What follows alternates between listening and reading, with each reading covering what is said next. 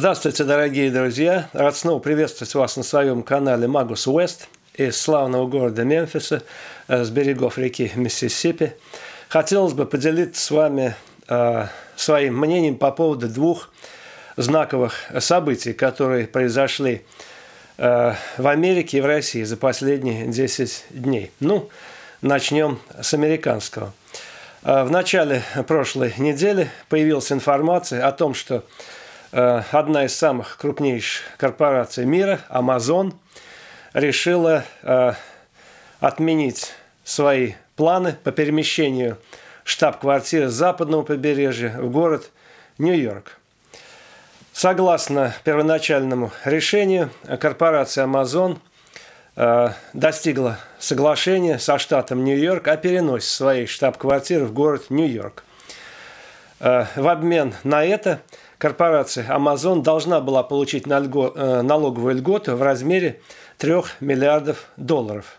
А Amazon обязал создать э, в течение нескольких лет 25 тысяч рабочих мест для жителей Нью-Йорка вот в этой или при этой своей новой штаб-квартире в Нью-Йорке. Ну, сюда надо включать будущие Э, позиция секретарей, э, клерков, каких-то курьеров, ну, вплоть до дворников. Всего 25 тысяч человек. Неплохая, кстати, э, перспектива для Нью-Йорка, где безработица гораздо выше, чем в других городах Америки.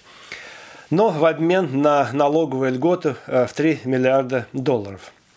По подсчетам экономистов, в течение последующих 10 лет – при переносе штаб-квартиры Амазона в Нью-Йорк, Амазон должна была бы заплатить э, штату Нью-Йорк 24 миллиарда долларов. Это вот после вычета этой налоговой льготы в обмен на 25 тысяч рабочих мест. Неплохая, кстати, перспектива. Но, э, к сожалению, э, от Нью-Йорка в прошлом году в Конгресс была избрана демократический социалист, очень громогласная такая э, женщина по имени Александра Октавия Кортес, которая сейчас раздает многочисленные интервью и которая пытается бороться с американским капитализмом. Так вот, это Александрия Октавия Кортес возглавил борьбу против вот этого решения Амазона перенести свою штаб-квартиру в город Нью-Йорк. Она заявила о том, что Амазон будет эксплуатировать Нью-Йорк, и нам не надо еще одного такого капиталиста. И вообще, зачем им давать 3 э, миллиарда долларов? Лучше их раздать бездомным или малооплачиваемым э, врачам или водителям э, автобусов. Вот это вот, что произошло в штате Нью-Йорк в Америке. Теперь второе событие. Также в начале прошлой недели поступила информация из России, что был неожиданно арестован э, один из руководителей американского инвестиционного фонда в России под названием Барон Восток. Его зовут Майкл Копли. Его ФСБ неожиданно утром в начале прошлой недели арестовала, в наручниках доставила, и э, он теперь будет находиться два месяца э, под э, судом и, возможно, сядет в тюрьму. В чем же дело? А дело в том, что между инвестиционным фондом и российским банком «Восток» такая игра слов. Инвестиционный фонд называется «Баринг Восток», а банк – который не имеет отношения к этому фонду, называется «Восток Банк». Между ними произошел сугубо хозяйственный спор, потому что инвестиционный фонд э, Майкл Копли э, выступал сначала одним из партнеров этого банка «Восток». Типичный хозяйственный спор. Они спорят о том, э, кто кому деньги должен, и российский банк «Восток» обвиняет Майкла Коплы в том, в том, что якобы вот этот инвестиционный фонд обул этот банк на 2 миллиарда рублей. Майкл Копли говорит, что нет, это неправда. А, Все произошло из-за того, что а, сумма, сумма акций упала. Ну, я не буду вам просто а, мозги пудрить этими всеми подробностями. А дело в том, что это просто на деле спор хозяйственных субъектов. Тут государство никакому обману не было подвергнуто. И Майкл Копли, кстати, недавно подал в лондонский арбитражный суд а, о том, чтобы разрешить этот спор в независимом арбитражном суде. Кто кого обул на 2 миллиарда рублей. Но у руководителя российского банка «Восток» есть влиятельные друзья э, ФСБ, и он решил арестовать, попросил их арестовать вот этого негодяя в его глазах Майкла Коплы и с тем, чтобы эти деньги вынули из этого инвестиционного фонда и отдали банку «Восток». И теперь он сидит в тюрьме. Что же происходит?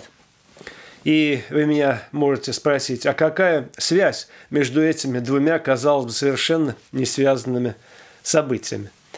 А связь достаточно прямая. Есть вот у нас здесь один э, историк-экономист, зовут его Роберт Хиггс, и он вывел интересную такую формулу о режиме неуверенности. Ну, в общем-то, Америки тут он не открывает, он просто э, доказывает э, с цифрами в руках по странам, как в результате Э, режима неуверенности, а по сути дела э, в результате подрыва доверия к инвестициям страны или целые регионы сами себя опускают. Или как вот здесь в Америке выражает, сами себе простреливают ногу.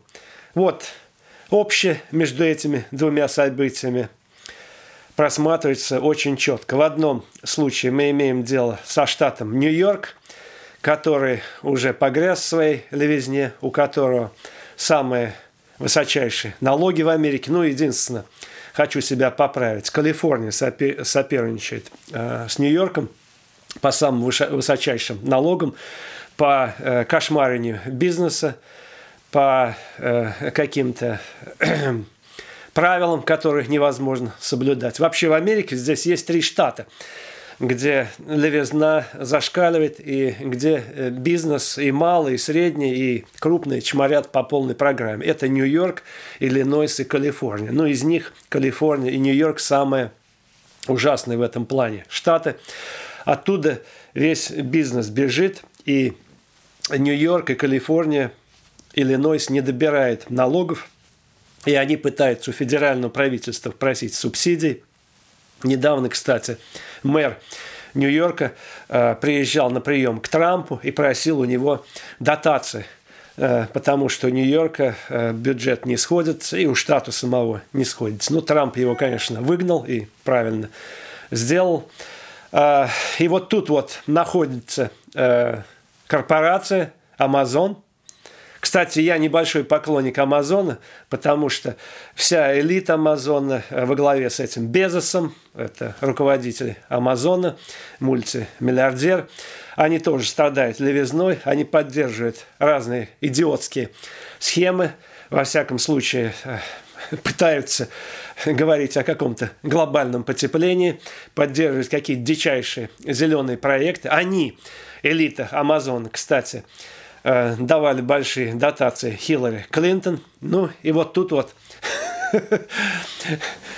находится более левый человек, такой по-российски выражаясь, большевик, демократический социалист Александр Октавия Кортес, который недовольны таким вот недостаточно левым Амазоном и, э, выражаясь опять российским языком, такая большевичка – Э, решил изгнать из славного левого города Нью-Йорка Безос. Это такого недостаточно левого, будем так говорить. А Нью-Йорк, кстати, славится своими левыми идеями. Там до сих пор сотни групп от маоистов и троцкистов до таких, как вот Александра Октавия Кортес, демократические социалисты, они соперничают, спорят друг с другом, но вместе они объединяются э, против бизнеса, выгоняет весь бизнес, налоговая база падает, а потом они начинают удивляться, почему у нас денег не хватает на школы, почему у нас денег не хватает на то, на это. И вот вы знаете, что самое интересное,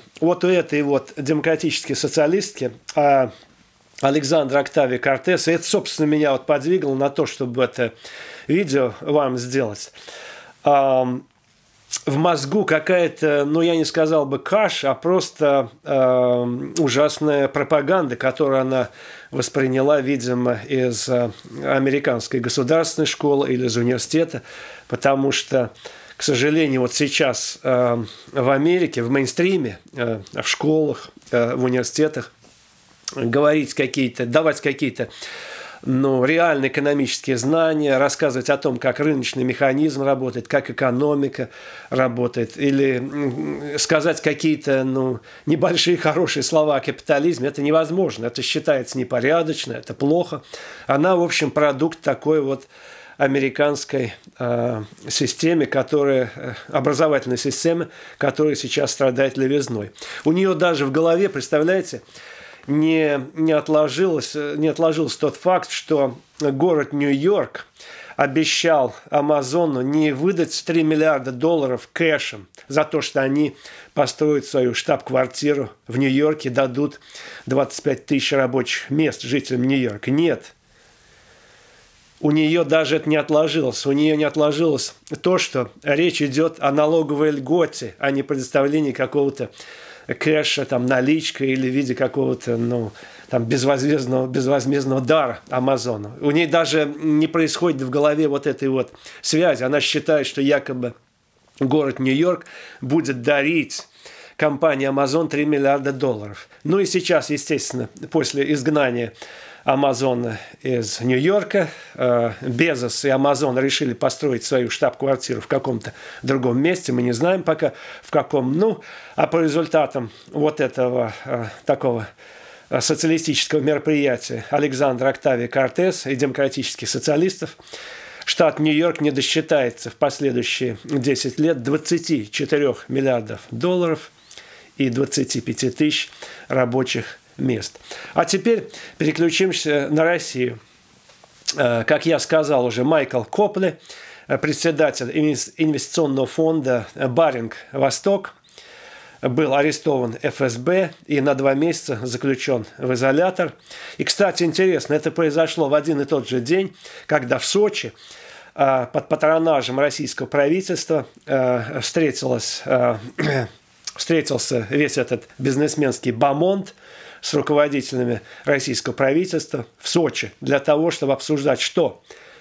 улучшение инвестиционного климата в России и привлечение иностранных инвесторов. И вот тот же день, когда эта встреча была организована в Сочи, в этот же день арестовывает Майкла Копли. Кто такой Майкл Копли? Это а, по отзывам э, всех финансистов, экономистов, это один из самых э, честнейших представителей бизнеса на российском рынке. Это, кстати, единственный человек, я повторяю, единственный человек, который решил остаться в России из всех инвесторов, когда все просто сбежали, потому что никто с Россией дело не хочет иметь после 2014 года, после Крым наш, после вот этого ура патриотического битья в грудь, Э, когда лезут в Сирию, когда лезут э, в дела каких-то других стран, чтобы какие-то себе нарастить там призрачные российские мускулы или скрепы. Он единственный из иностранных инвесторов, инвесторов,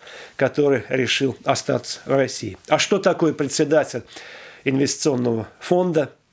Если вы не знаете, это человек, который по всем параметрам – принимает деньги других людей, чтобы их инвестировать в страну. То есть он по определению должен быть кристально честным, потому что ему люди свои деньги доверяют. Если только какое-то сомнение даже э, в нем возникает, люди сразу начинают вынимать деньги, сразу убегают. То есть э, арестовывает российское государство, последнего, я повторяю, последнего инвестора из западных, который решил остаться в России.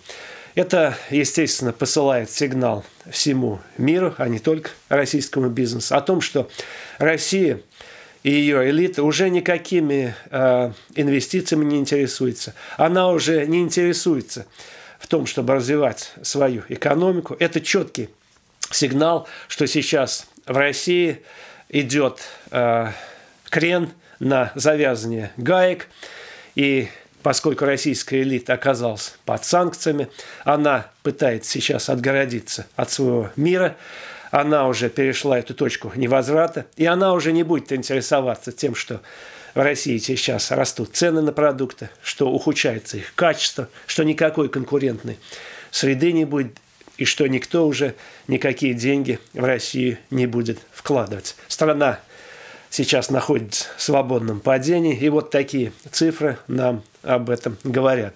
В 2017 году бегство капиталов из России было 25 миллиардов долларов, а в прошлом году, в 2018, 67 миллиардов долларов ушло из России.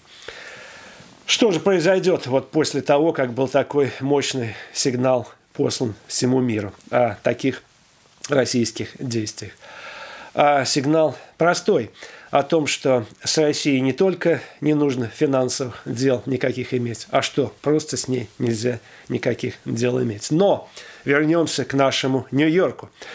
Какой же сигнал нам послал другой человек, демократический социалист по имени Александра Октавия Кортес, который изгнал Амазон из штата Нью-Йорк и в частности, из города Нью-Йорк, она послала сигнал всей Америке, что с Нью-Йорком, со штатом Нью-Йорк, и с городом Нью-Йорк никаких дел не надо иметь. И никто не будет иметь дел с этим поганым штатом, с этим поганым городом, который будет скоро задыхаться в мусоре, задыхаться от безработицы, жаловаться на недостачу, недостачу денег, а весь бизнес будет переходить, например, в такие штаты, как Техас, где наоборот, льготы предоставляет и малому, и среднему бизнесу.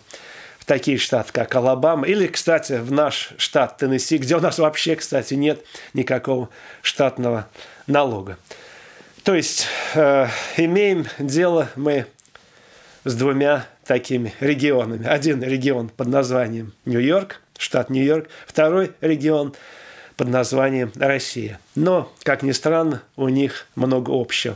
И эта общность заключается в чем?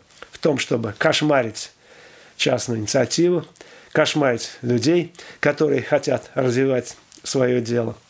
И они просто не понимают, э, видимо, э, э, власть, желание власти, желание доминировать или какая-то ну, фанатическая вера в их идеал. Вот в одной с одной стороны, мы имеем демократических социалистов, которые сейчас все больше популярности в Америке пользуются, потому что много людей сейчас на велфаре сидит. 52 миллиона человек в Америке сидит на велфаре. Это потенциальные получатели большей государственной помощи, которые нигде не хотят работать. Это такие люди, которые, как вот эти э, древнеримские патриции, они требуют себе хлеба и зрелищ, и больше нигде не хотят работать. Кстати, интересно, вот это вот Александра Октавия Кортес, она недавно внесла в Конгресс проект по так называемому зеленому новому курсу. Ну, еще очередная глупость.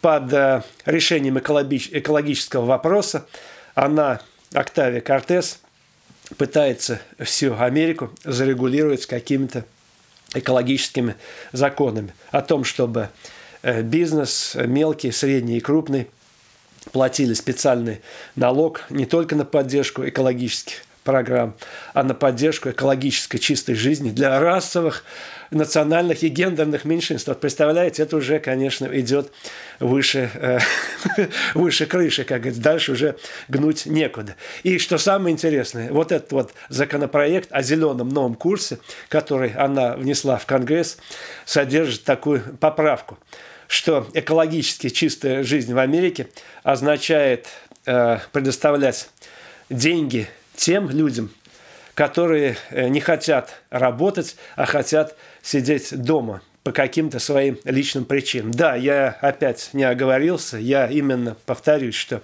вот ее законопроект содержал такую, э, такое положение о том, что государство должно платить деньги, если люди какие-то не хотят работать, но тем не менее они должны на что-то жить. То есть физически здоровые люди тоже имеют право на welfare.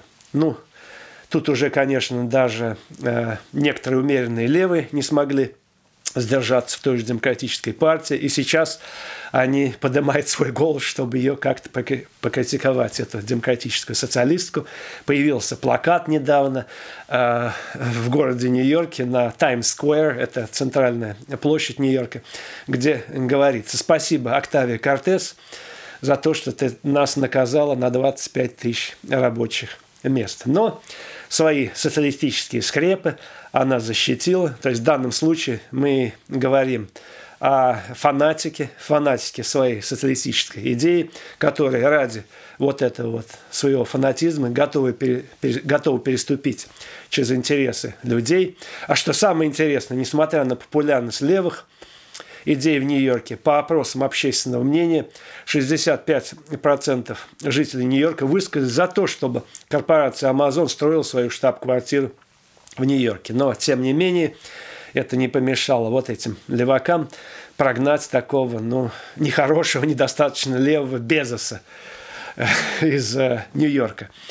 И то же самое, если мы вернемся в Россию, в нашу родную, мы увидим то же самое, что ради каких-то призначных государственных, национальных скреп для наращивания каких-то своих э, духовных, скрипоносных мускулов люди хотят э, не просто закошмарить бизнес, а просто удалить всю финансовую базу для экономического развития России.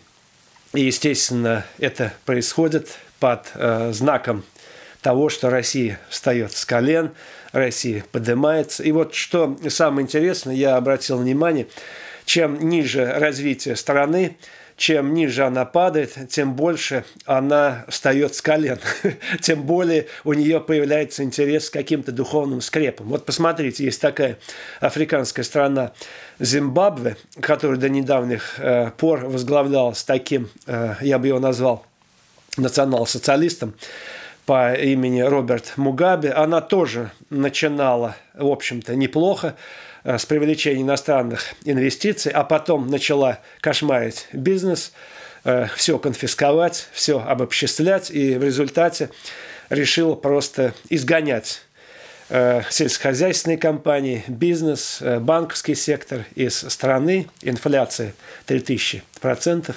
страна катится, но режим основан на чем? На своих скрепах, а эти скрепы нам, зимбабвийские, говорят о том, что Запад негодяй опустил Зимбабве, и поэтому она такая слаборазвитая, и что вот этот поганый империалистический Запад, он ответственен как раз за это, за то, что Зимбабве сейчас в полной заднице находится, что 2 миллиона зимбабвийцев уехали из страны в поисках работы. Ну и, естественно, в России примерно такая же история происходит. Начинает гордиться своими скрепами, начинает возносить, возносить свою какую-то призначную духовность, а главное, начинает обвинять Запад. И посмотрите, что самое интересное, вот у этих же американских социалистов, и в частности вот у Октавии Кортес, и вообще у всех социалистов, и умеренных, и у таких вот э, э, леворадикальных, как Октавий Кортес, у них тоже такая же линия просматривается. На что? На обвинение Запада. Запад – это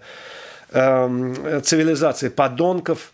Запад – это негодяйство. Запад – это капитализм. Запад – это материализм. Его нужно э, выдавливать из себя, а нужно поддерживать духовность. А что такое духовность? Духовность это вот коллективизм третьего мира, это э, коллективизм национальных меньшинств, это какие-то вот такие общины, это э, экологически чистый образ жизни, когда у нас фабрик никаких нет, когда у нас бензин не использует, когда мы атомной энергией не пользуемся, а мы вот э, развиваем какие-то ветряные мельницы, мы вместе трудимся, мы едим э, в, совместно в каких-то столовых, мы готовим еду вместе, И мы гордимся разными духовными скрепами, которые ничего не имеют общего с западной цивилизацией. Вот смотрите, вот самое интересное, здесь просматривается связь между американскими левыми, которые также ненавидят Запад, свою западную цивилизацию, и этими э, придурками, э, российскими э, государственниками, евразийцами, которые также ненавидят Запад и пытаются какую-то свою призрачную духовность восхвалять. Все они едины в своей ненависти к Западу, все они едины в чем? В том, что они хотят э, жить за государственный счет, но ничего не инвестировать в развитие экономики. А результат просто один. Они рубят э, курицу, которая несет золотые яйца.